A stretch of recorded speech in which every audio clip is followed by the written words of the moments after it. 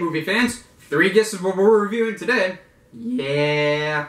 Well, I'm a huge Ninja Turtles fan, so I'm going to be leaving this on for the duration of the review.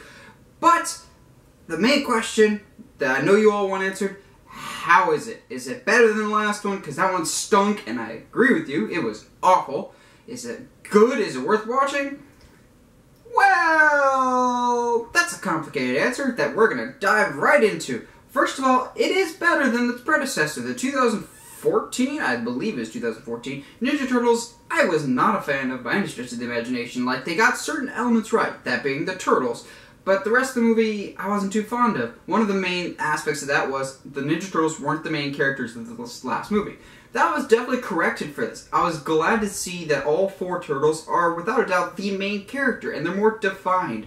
Of Leonardo's definitely the leader. Raphael's more the hothead. All the characteristics that you know and love of the Turtles are back in this, and they're the focal point of the movie. Like a Ninja Turtles movie should be. Shocker! And unlike the last one that tried to balance the seriousness of the comics with the lighthearted tone of the animated series, and tried to mesh it all into one, it didn't really work. This one takes more of the lighthearted approach, which might turn some people off and seem a bit childish. To me, that seemed more like the classic Ninja Turtles that I know, and it seemed more fun. The movie seemed more aware of what it was trying to be as opposed to trying to be something that it wasn't. In that case, it makes it more enjoyable for me because the movie seems to be self-aware, and that the movie's not great, but at least it knows what it is and tries to stay in this little sphere. The, now, there's also some great new additions. There was some cast recastings, kind of like the Shredder was recast from the original. It's not some bald guy in the shadows. It's an actual actor now, and he doesn't really get his time to shine, which is unfortunate. But it was nice to see a Shredder that bared more resemblance to the Shredder that we know, and not just some giant mech suit. And Rocksteady and Bebop, they're finally here on the big screen, and yeah, they were Rocksteady and Bebop. I don't know the other guy's name, and Sheamus, which is just entertaining to watch the end credits and just see Sheamus. Both those guys really delivered as Rocksteady Bebop. Like, you can tell they have this genuine chemistry, and they're just goofy and nutty, and they fit into this universe really, really well.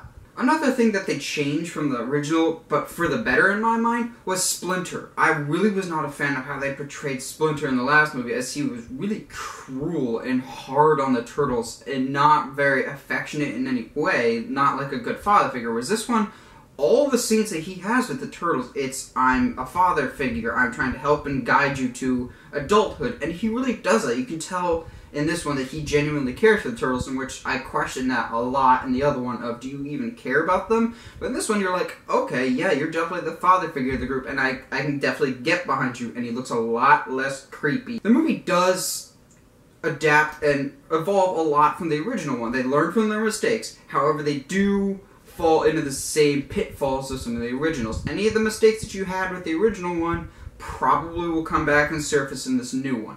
There's a lot of plot holes and just really I I don't think that's how that goes. And some of the caricatures of people don't really line up, particularly Casey Jones. Now I love Stephen Amell and I was really excited when I heard that he was going to be playing Casey Jones.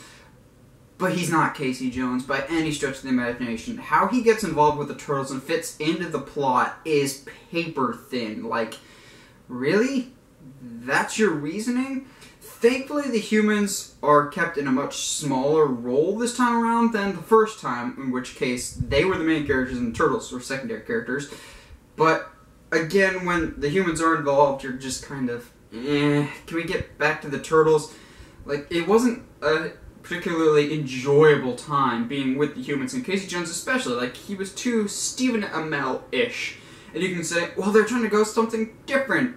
But again, if you're not trying to be Casey Jones, then why name him Casey Jones? And he just was kind of there. Like, yeah, he seemed like he had charisma, but nothing about him made me invested in him as a character. So either make him Casey Jones or make him a dynamic character, and neither of those really worked. Thankfully, Megan Fox's April O'Neil was kept in a minor role. She still has some scenes where you're just rolling your eyes, but it's not too bad. There's some other characters looking at you, Baxter Stockman, played by Tyler Perry, because that just fits.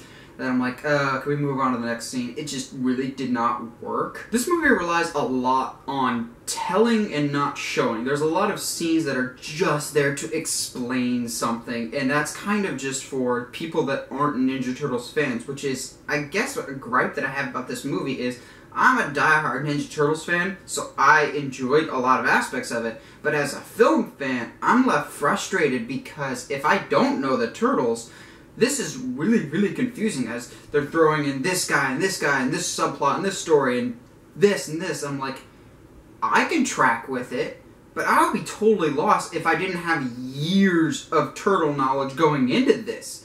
It's for Turtles fans, which is good but as a movie fan, I'm just like, the story is really disjointed and all over the place.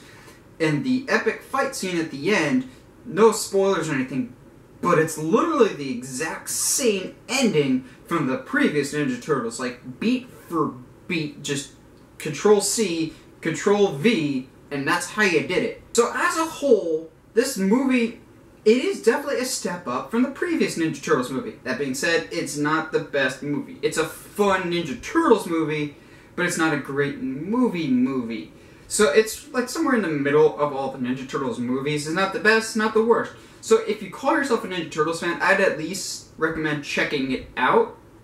If you don't have a really strong attachment to the characters, I'd say just skip it. Well, what did you guys think of Teenage Mutant Ninja Turtles Out of the Shadows as my mask is falling down? What would you guys think of it? Let me know in the comments below. And as always, if you like what you see and want to see more, subscribe to the channel. Or find me on Facebook, Twitter, or Instagram at 17 Movie Reviews.